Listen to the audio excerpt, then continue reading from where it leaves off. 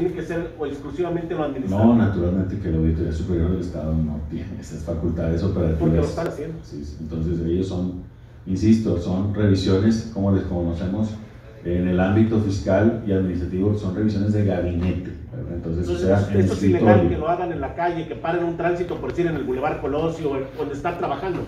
Eh, si lo hacen a cargo de ellos, sí es ilegal. Sí, no Hay bien. otras entidades de la- del sistema estatal y nacional de seguridad pública que sí pudieran hacerlo, pero ellos no. ¿Tienes información si en alguna otra ciudad fronteriza o del municipio se está a cabo este tipo de auditorías por parte del gobierno del Estado?